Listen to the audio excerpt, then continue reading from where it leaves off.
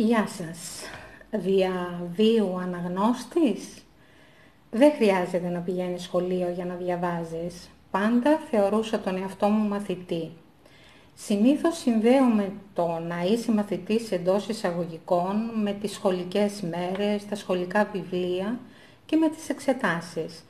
Αλλά ποιος είπε ότι το ταξίδι της μάθησης πρέπει να σταματήσει μόλις αποφυτίσουμε, μόλις τελειώσουμε το, το σχολείο; Η υιοθέτηση της ιδέας της διαβίου μάθησης ανοίγει ένα κόσμο δυνατοτήτων όπου μπορούμε να συνεχίσουμε το ταξίδι της εξερεύνησης στη γνώση. Το να είσαι μαθητής για μια ζωή σημαίνει να απελευθερωθείς από το παραδοσιακό εκπαιδευτικό σύστημα και να απελευθερώσεις την επιθυμία σου ή και την πείνα σου εντός εισαγωγικών για εξέλιξη. Είναι μια νοοτροπία η διαβίου ενασχόληση με την ανάγνωση βιβλίων ε, που τροφοδοτεί το πάθος για γνώση και μας βοηθάει να προσαρμοστούμε στις αλλαγές και στην αυτοβελτίωσή μας.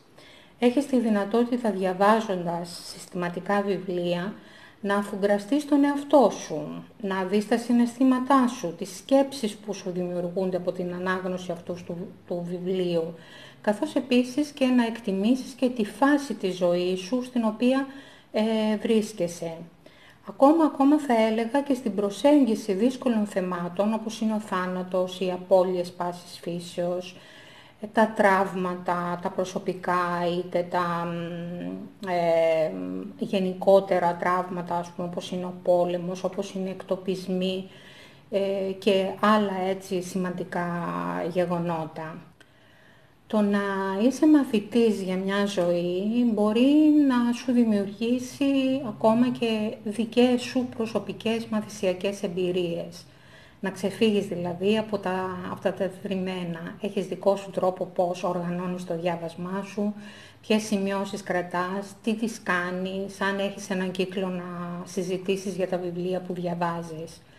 Τώρα γενικότερα θα έλεγα πώς μπορούμε να αναπτύξουμε αυτή την οτροπία, μια και το κανάλι απευθύνεται κυρίως σε αναγνώστες και στα ζητήματα της ανάγνωσης και δεν είναι ένα κανάλι τηλεμάρκετινγκ που προωθούμε μόνο βιβλία. Έτσι, σαφώς μοιραζόμαστε και κάποια από τα βιβλία που διαβάζουμε, τουλάχιστον στο δικό μου εδώ κανάλι. Ποιες αλλαγές όμως μπορούμε να υιοθετήσουμε που να μας οδηγήσουν έτσι σε αυτόν τον τρόπο για να διατηρήσουμε το ενδιαφέρον μας; Ουσιαστικά τροφοδοτούμε αυτό το πάθος της ανάγνωσής μας γιατί ε, το βάζουμε μέσα στην καθημερινότητά μας, δημιουργούμε μια αναγνωστική καθημερινή ρουτίνα.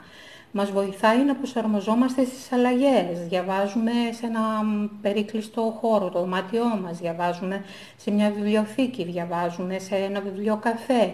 Ξέρουμε πόσο φόβο προκαλούν οι αλλαγές στις μέρες μας που δεν υπάρχουν βε, ε, βεβαιότητες μας δημιουργεί ακόμα και την ε, επιθυμία για μια αυτοβελτίωση, να μπούμε και να γνωρίσουμε και άλλα λογοτεχνικά είδη, να εξασκήσουμε τη μνήμη μας, ε, να ορίσουμε στόχους αναγνωστικούς, να εξερευνήσουμε ακόμα και νέα πεδία ανάγνωσης, είτε είναι επιστημονικά ή αν έχουμε κάποιο άλλο είδους ενδιαφέροντα εξασκούμαστε στην εστίαση, σημαντικό σημείο για άτομα μεγάλης ηλικίας, καθώς επίσης και για άτομα που έχουν διάσπαση προσοχής.